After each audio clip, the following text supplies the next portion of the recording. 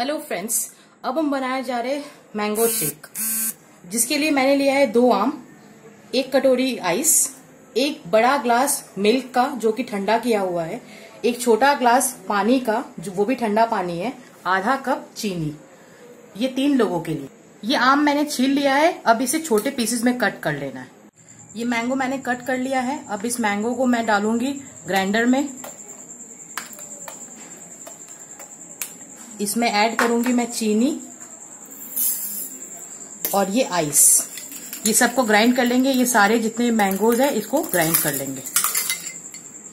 ये मैंगो मैंने ग्राइंड कर लिया है, इसे हम छान लेंगे।